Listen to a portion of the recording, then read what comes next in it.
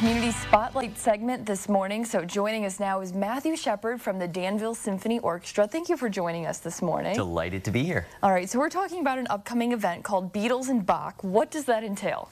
Well, it entails Beatles, it entails Bach, and a lot of other things in between as well. So this is a, a concert with the Danville Symphony Orchestra and with guest soloist Brandon Ridenour on the trumpet. He is a phenomenal, phenomenal soloist who lives in multiple genres. So he's a, an outstanding classical orchestral trumpet player, and he also performed and composed for the Canadian Brass.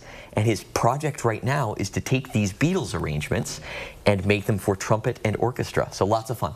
That's amazing. What are you looking forward to the most? Uh, I'm looking forward to the whole thing. The whole program is exciting, top to bottom. Um, we have Rainbow Body, a piece by Christopher Theofanidis. Uh, interesting fact, that was actually one of Brandon Ridenour's teachers, so that was kind of cool. Um, we also have a piece by Leonard Bernstein, the Overture to Candide.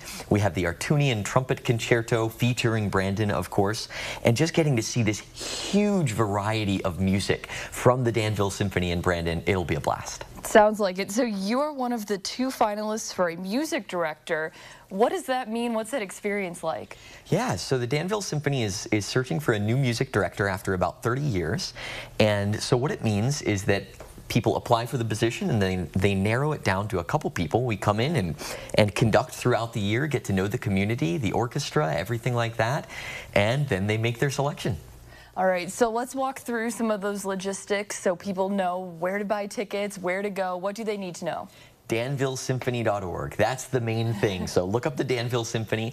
The concert is this Saturday, May 4th at the Dick Van Dyke Auditorium, Danville High School, and it is at 7.30. You can get tickets online. You can get tickets when you get there go go out, enjoy the concert. It'll be a blast. Yeah, so if you're looking for weekend plans, it sounds like head to Danville. Absolutely. All right, well, thank you so much for joining us here this morning. You can learn more about this event and others in our communities. Just head to WCIA.com slash community.